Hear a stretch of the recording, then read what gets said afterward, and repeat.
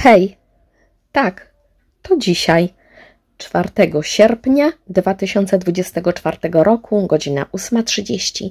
Zaczynamy odpowiedzi na pytania zadane przez Was, czyli tak zwane QA.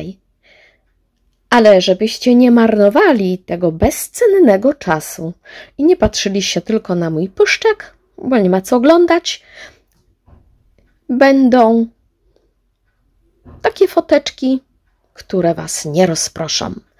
Możecie w tym czasie słuchać i pracować nad tym, nad czym macie ochotę. A może będziecie leżeć w łóżku i słuchać jak najlepszego audiobooka, bo wiecie, czasem prosicie, mów do nas, więc uważajcie, o co prosicie, bo może być Wam dane. QA jako audiobook nie trzeba się rozpraszać na oglądaniu.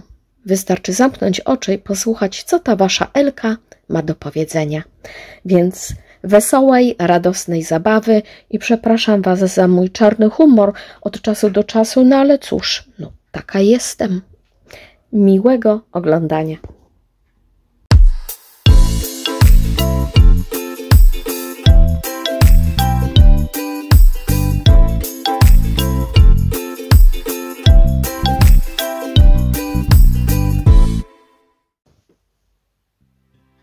Dzień dobry.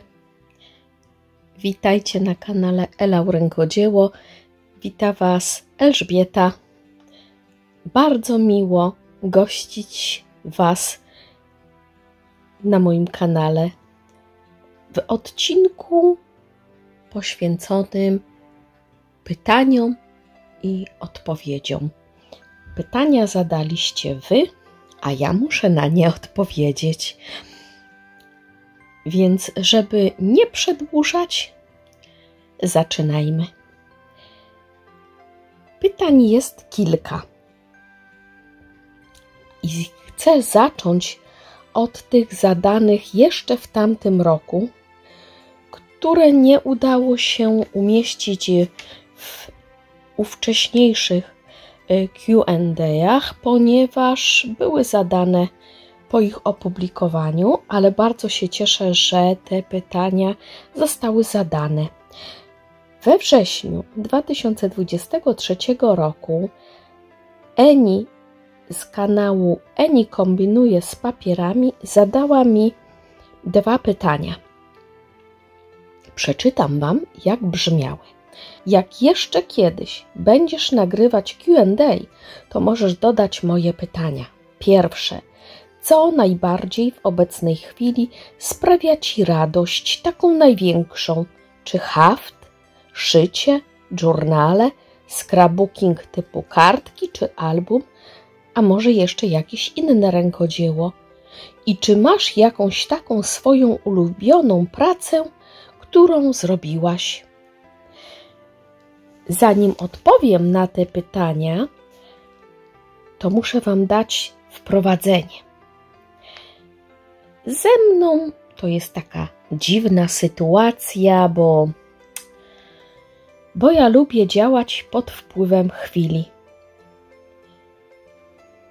Na to, co w danym momencie sprawia mi radość tworzenia, ma wpływ wiele czynników. Obecnie temperatura. Nienawidzę lata. Kocham chłodne dni, więc teraz przy tych upałach tworzenie dla mnie to męka. Wystarczą mi chwile kreatywne w pracy. W domu jestem jak dętka. Samopoczucie. Są chwile zmęczenia, takiego fizycznego. Wychodzę z domu o 6.15, wracam między 17 a 18. Z poprzednich vlogów wiecie, że przemieszczanie się po Wrocławiu w wakacje to jedna wielka niewiadoma.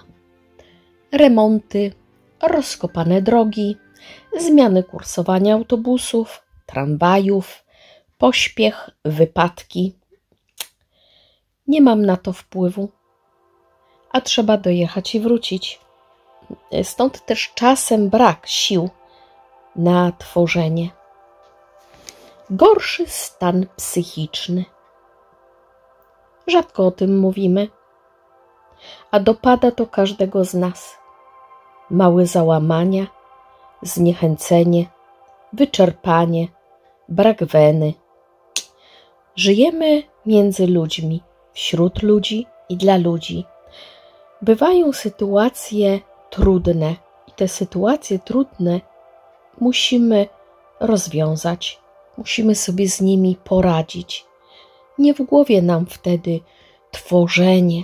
Czasem mamy chore dzieci, chorych rodziców, sami chorujemy. To też nie sprzyja temu, żeby usiąść i tworzyć, prawda? Impuls. Ach, te impulsy. Czasem jest to usłyszane słowo, kolor zauważony w mieście, w sklepie, dotyk, struktury przedmiotu, zapach. To wszystko wywołuje u mnie kreatywne wyobraźnie. Uczciwie Wam powiem, że nie przeglądam Pinteresta ani innych takich stron. Myślę, że wtedy nastąpiłaby całkowita eksplozja mojego mózgu. Kreatywności mi nie brakuje. Buzuje się to wszystko, zbiera i czasami jest tak, że nie nadążam ze spisywaniem pomysłów. I właśnie działam pod wpływem impulsów. I one mają wielki wpływ na to, jaką technikę obieram w danej chwili. I wracając do pytania Eni, co najbardziej w obecnej chwili sprawia mi radość? Czy haft, szycie, journale, scrapbooking, kartki, album, a może jakieś inne? W jakimś QA już wspominałam, że nie chcę się zamykać i tworzyć w jednym rodzaju, w jednej technice, na przykład tylko kartki, tylko haft albo tylko szycie. Mnie nosi i roznosi, i szybko bym się wypaliła i znudziła. Właśnie to, że jako tako, jak mówił świętej pamięci mój tato, potrafię tworzyć w różnych techni dziedzinach, technikach, daje mi radość i satysfakcję. Rozwija mnie, pomaga w łączeniu ze sobą wielu technik, na przykład haft w albumie i do tego uszyta okładka. A to możecie zobaczyć w błękitnym albumie dla chłopca. Link w prawym górnym rogu. I dla mnie ta różnorodność to właśnie jest pasja. Więc odpowiadając na pytanie Eni, co najbardziej sprawia mi radość w obecnej chwili, no to właśnie to, co właśnie tworzę. Robię album. Ostatni mogliście zobaczyć na przeglądzie prezentacji album Sweet Ballet. I właśnie ten album w tym momencie, czyli Scrapbooking, dawał mi radość. A za chwilę tęsknię do haftu, więc chwytam pudełko hafciarskie i haftuję to, co w tym pudełku właśnie czeka na skończenie. A kiedy już skończę i mam wyhaftowane elementy, hmm, to one wołają o stworzenie z nich kartki. I takie kartki z haftami możecie też u mnie zobaczyć. Więc hobby, pasja to chwila łapania radości stworzenia. Pytanie drugie: czy masz jakąś swoją ulubioną pracę, którą zrobiłaś? O tak, oczywiście, a nawet kilka, bo kocham trudne, bardzo trudne wyzwania, nad którymi się muszę dosyć długo nagłówkować. Uwielbiam to.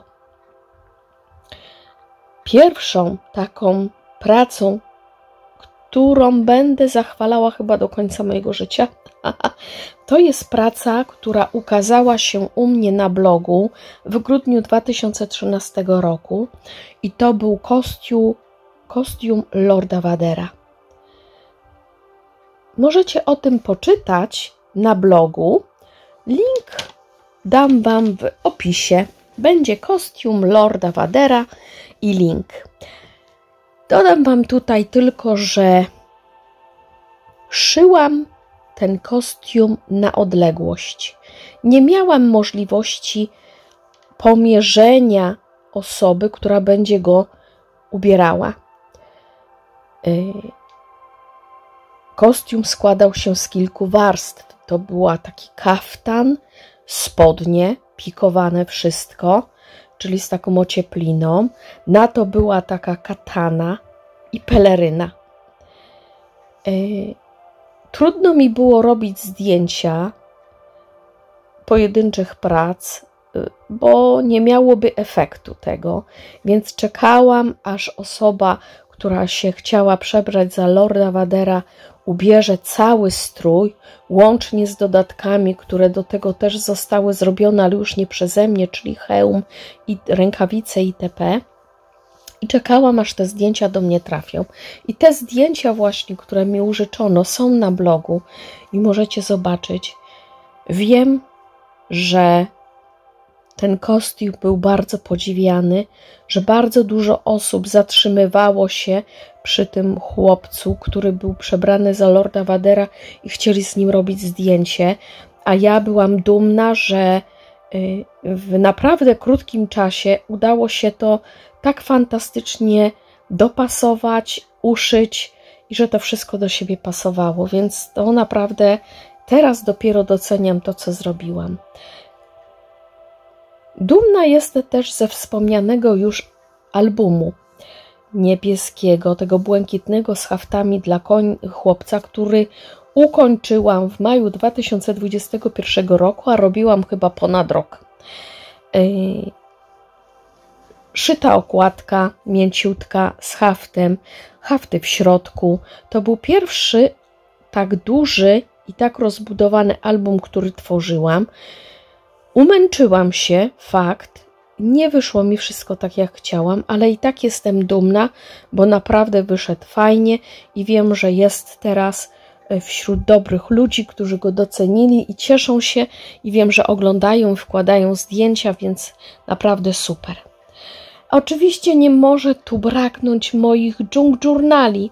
Ha, każdy jest w innej tematyce, każdy jest robiony z tak zwanych śmieci, czyli recyklingowy, y, rzeczy, które byśmy wywalili, stare papiery pakowe z paczek, jakieś stare zeszyty, gazety, dodatki, bilety, naprawdę każdy mój junk journal miał przemyślany temat.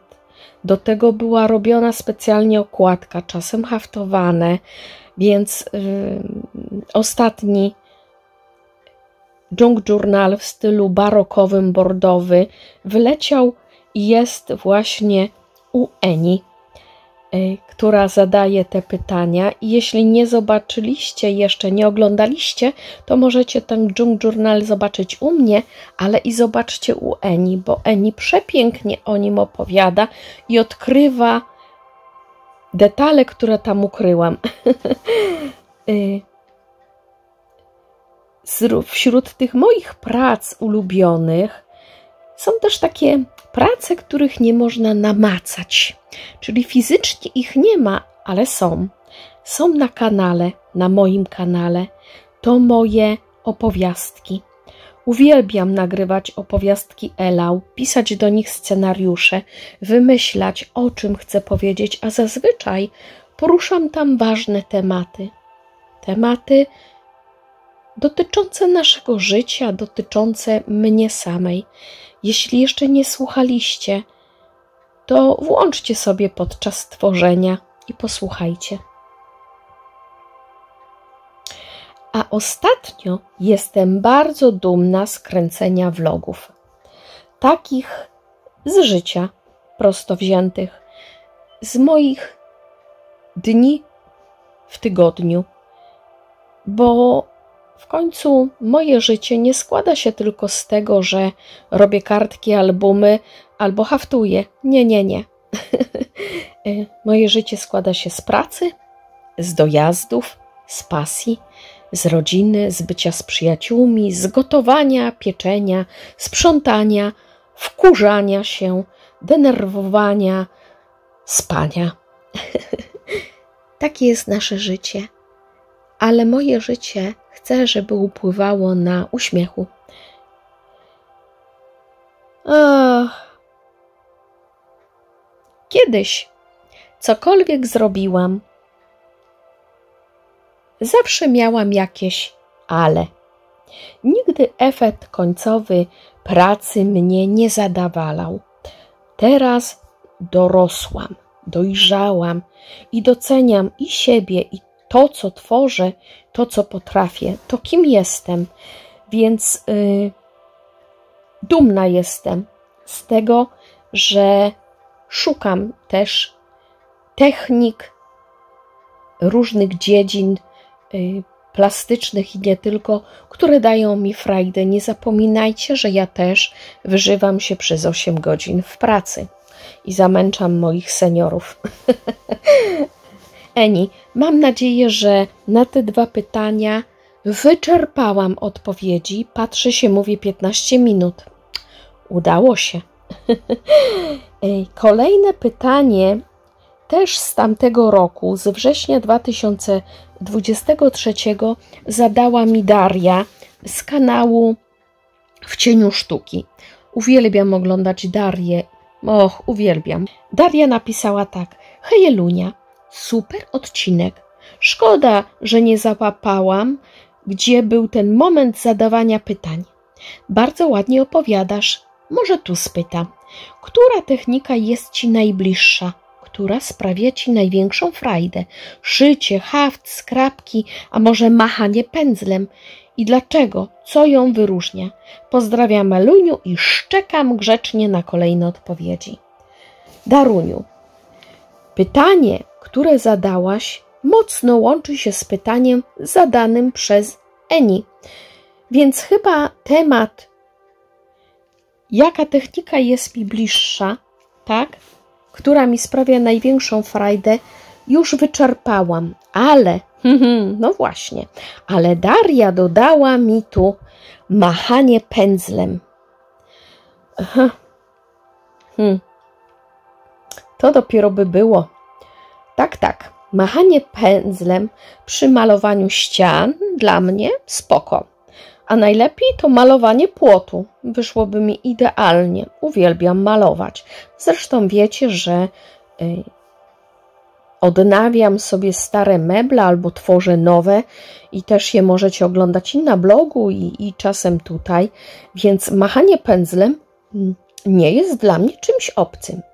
Ale machanie pędzlem w sferze malarstwa, hmm, takiego malarstwa, wiecie, przez duże m, m, m, no to, hmm, no to trudno powiedzieć, czy ja tak tym pędzlem potrafię machać, raczej nie. Y, sami możecie zobaczyć moją akwarelę nie wystraszcie się, ale którejś nocy, lata temu, obudziłam się, nie mogłam spać, po prostu postanowiłam, że sobie tak namaluję to, co pamiętam z dzieciństwa, czyli domek kryty strzechą mojej babci w Brzeszowskiem. Się okazuje, że ten chatka wcale nie była kryta strzechą, ale powiedzcie to dziecku, które sobie to tak wymyśliło i zapamiętało. No, więc sobie namalowałam. E, wisi ta moja akwarela w mojej przedpokojowej galerii. A co? Wisi, cieszy moje oczy, ale mm, mm, Picasso już malował lepiej ode mnie, naprawdę. E, wiecie co, ale jednak cały czas, gdzieś tam w podświadomości mojej, cały czas mam ochotę spróbować i poszaleć i pomachać tym pędzlem i zobaczyć, Chodzi za mną ostatnio malowanie akwarelą i mam nadzieję, że coś w tym kierunku uda mi się zrobić. Nie wiem, może to będą tylko tła do kartek, ale po prostu czuję, że już tego chcę. Czyli widzicie, już jest impuls. Tak jest, impuls. ok, Daruniu, mam nadzieję, że słuchasz od początku odpowiedzi na te pytania i wyczerpałam odpowiedzi na Twoje. W tym roku zadał mi jeszcze pytania Artur i Artur zadał mi bardzo piękne, mądre, ale i bardzo trudne pytanie. Czy w dobie XXI wieku jest jeszcze popyt na rękodzieło? Czy rynek jest chłonny?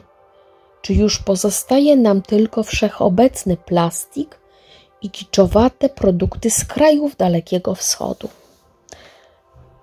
Moi drodzy, nie wiem i nie znam odpowiedzi na to pytanie. Myślę, że tak, że jest popyt na rękodzieło, że chcemy wokół siebie otaczać się robionymi pięknymi rzeczami wykonanymi ręcznie.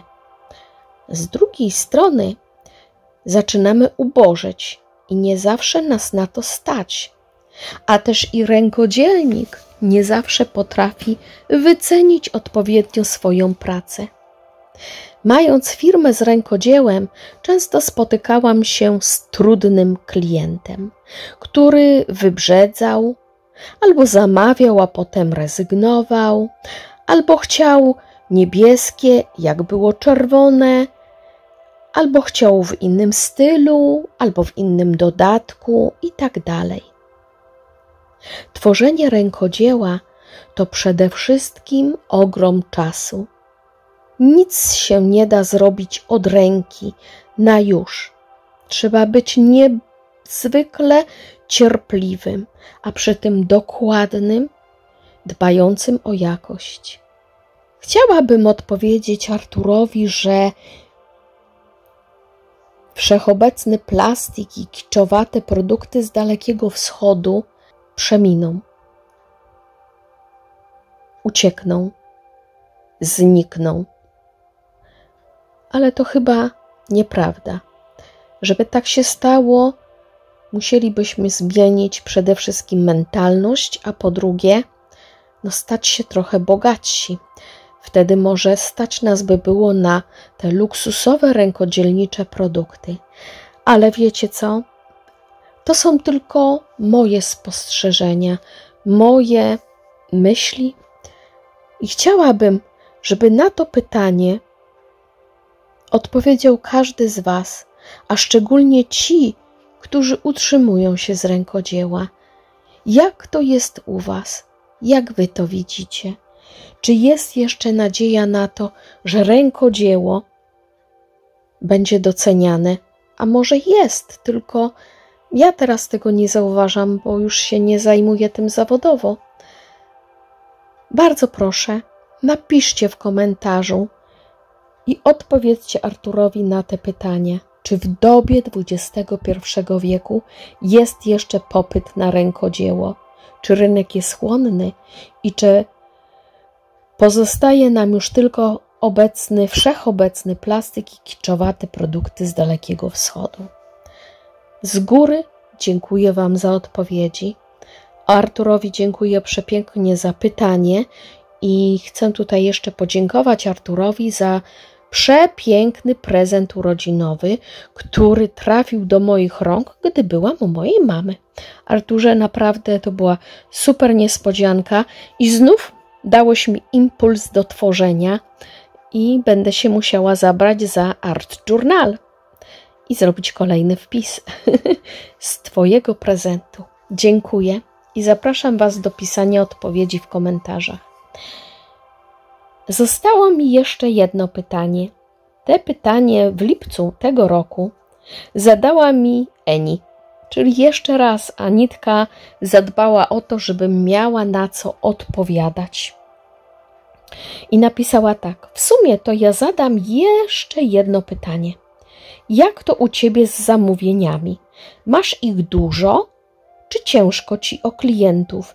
i czy robisz coś nietypowego na zamówienia, czy unikasz?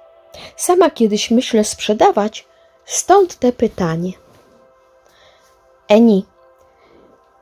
W maju 2022 roku, czyli już dwa lata temu, zlikwidowałam moją działalność gospodarczą, która wcześniej o dwóch lat była zawieszona. A zawiesiłam ją dlatego, że zaczęłam, podjęłam pracę w projekcie unijnym. Jeśli pamiętacie, y, byłam trenerem szkoleń zawodowych z zakresu krawiectwa i nie chciałam, aby był konflikt interesów, żeby ktoś powiedział, że ja cokolwiek z tego projektu biorę do siebie prywatnie i używam to do mojej firmy. Nie chciałam tego, chciałam mieć czystą kartę, więc zawiesiłam działalność i zajmowałam się tylko pracą zawodową w projekcie unijnym. Po dwóch latach od zawieszenia, właśnie w 2000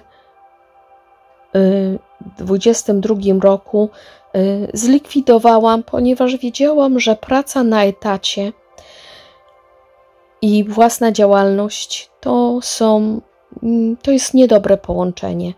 Firmę miałam od sierpnia 2016 roku, więc przez 4 lata pracowałam na etacie 8 godzin i dbałam o moich klientów.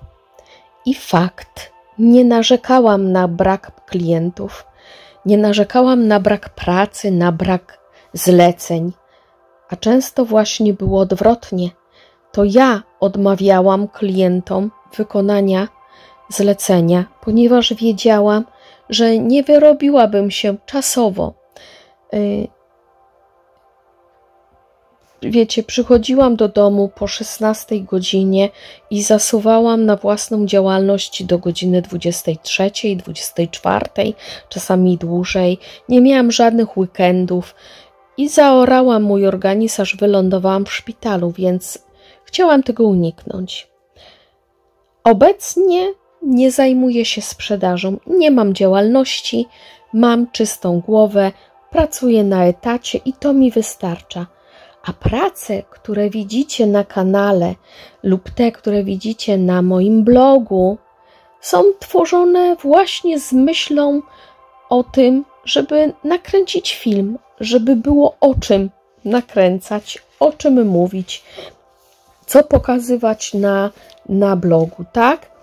A potem, potem te wszystkie prace Zazwyczaj leżą w kartonach wysoko na półce i czekają na okazję. Czasem taka okazja się trafia i zostają prezentem wśród rodziny, znajomych, czy to z okazji urodzin dziecka, czy urodzin y, znajomego, znajomej. Czasem lądują jako dar na kiermaszach dla osób, dzieci potrzebujących, a jeszcze kiedy indziej lądują jako nagrody dla moich widzów w konkursach, które organizuję, czy to na blogu, czy tutaj na kanale.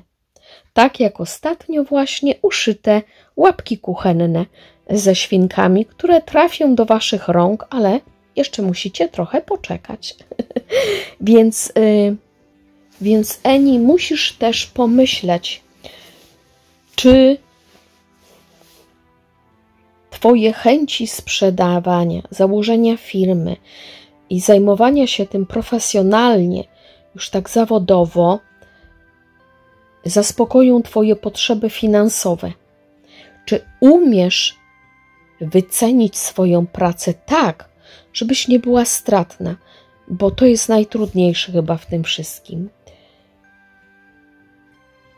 A to jest tak wszystko płynne, zależy od tak wielu czynników, od, od klientów, od naszych y, polityków, którzy nam y, serwują co chwila nowe składki ZUS, nowe ubezpieczenia, nowe podatki.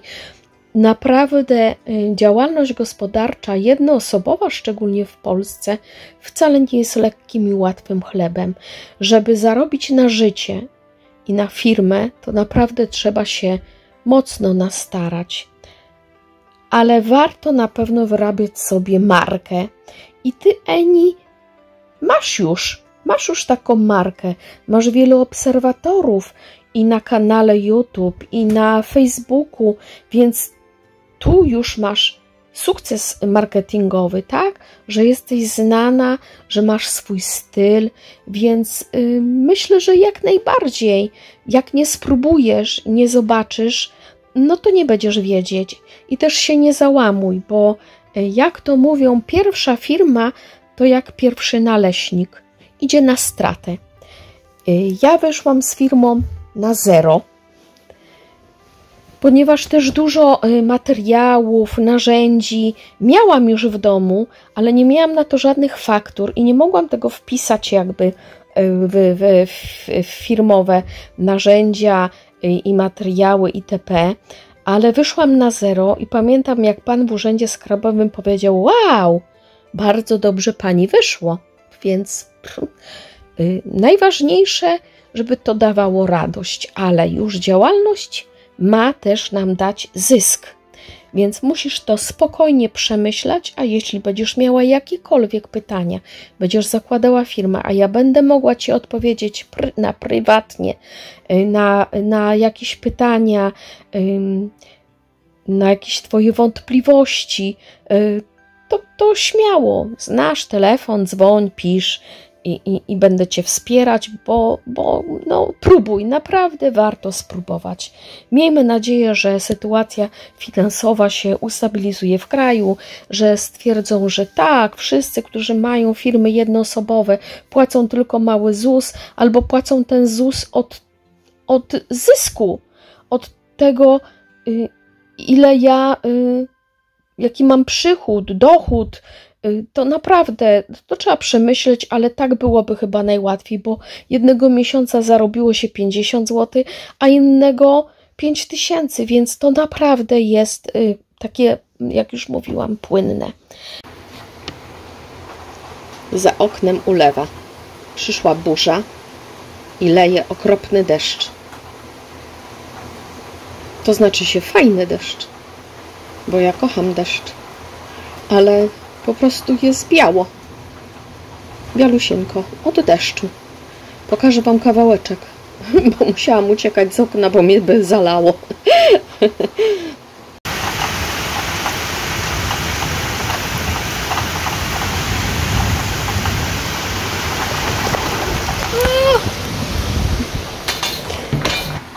Oleńka pod ostatnim postem na grup, stronie społeczność Ola z Handy Hands y, napisała mi, że chce odpowiedzieć na kilka pytań. No to już, lecimy.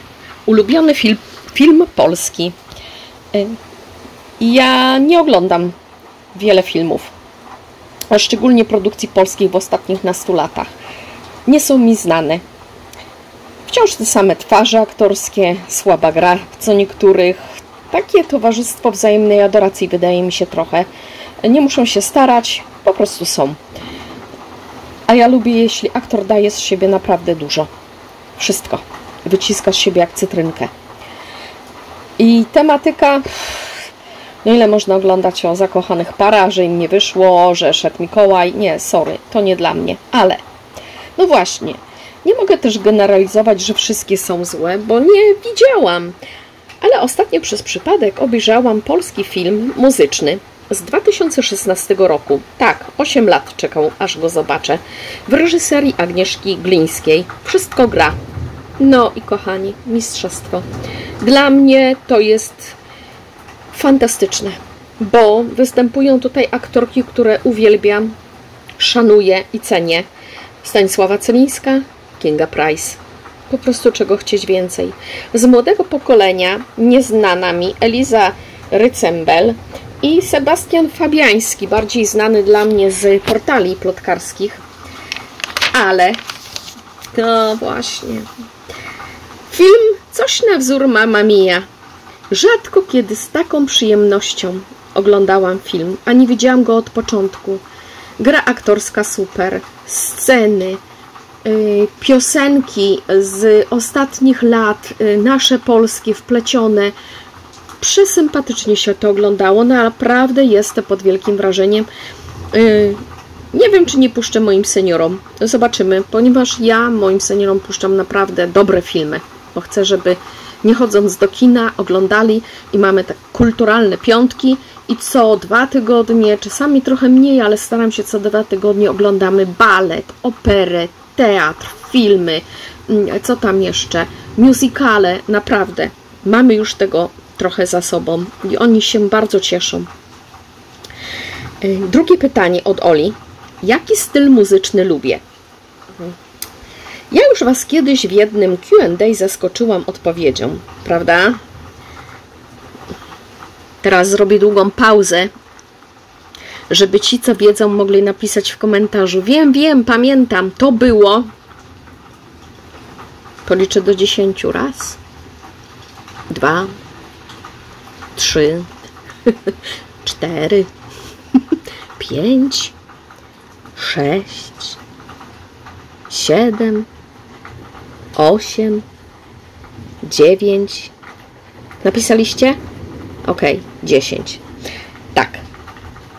Rap i hip-hop. Oczywiście jazz, klasyka, czyli Chopin. Ostatnio właśnie to utwory jazzowe.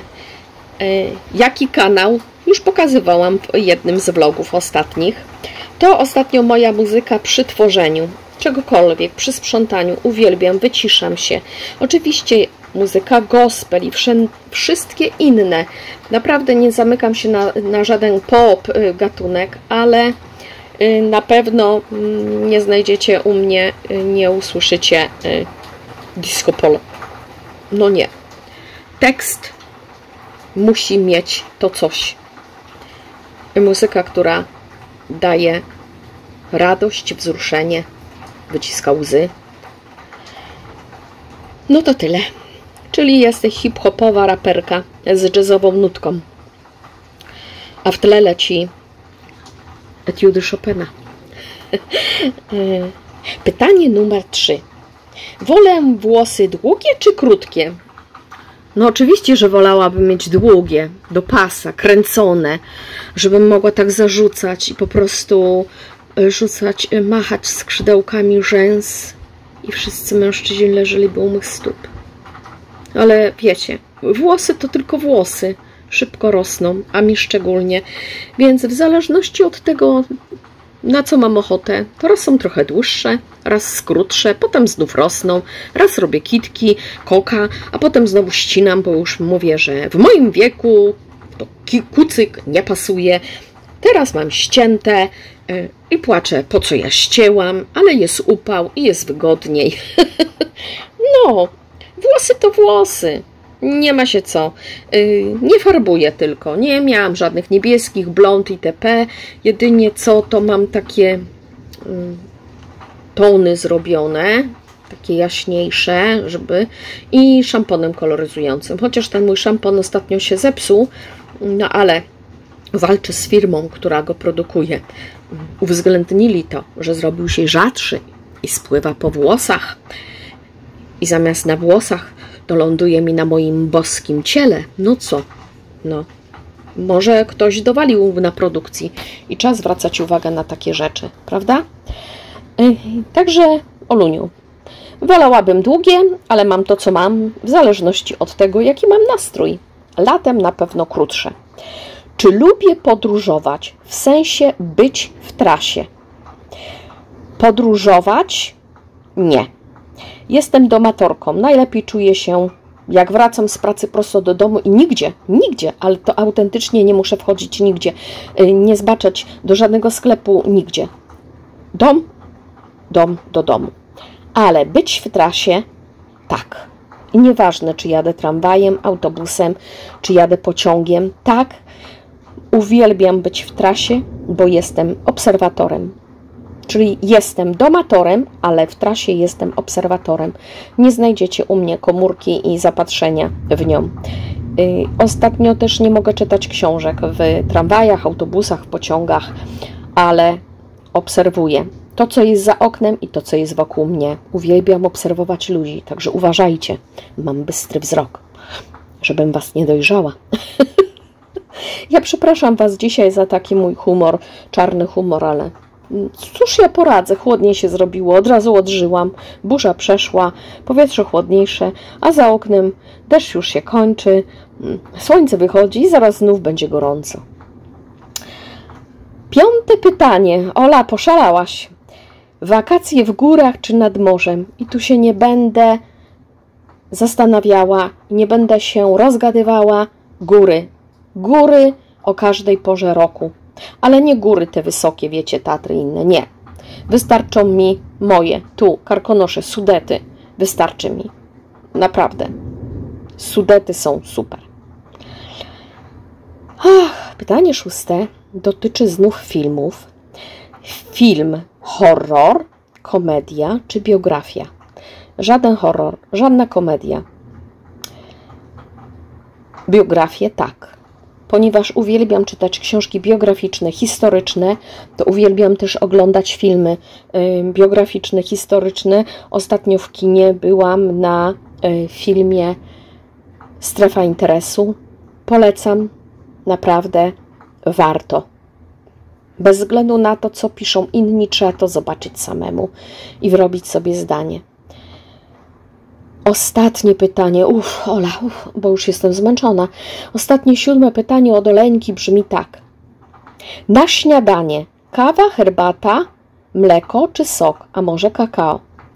To tak, na śniadanie kanapka. Tak, zdecydowanie, Olu, na śniadanie kanapka i do śniadania kawa. Czyli najpierw mogę pić rano, jak przychodzę do pracy, piję kawę. Wiem, że niezdrowo, naczczo, ale zazwyczaj zaraz zjadam kromkę chleba, bo potem nie wiem, kiedy będę mogła zjeść, więc zazwyczaj potem jem o pierwszej, jak nie zjem rano.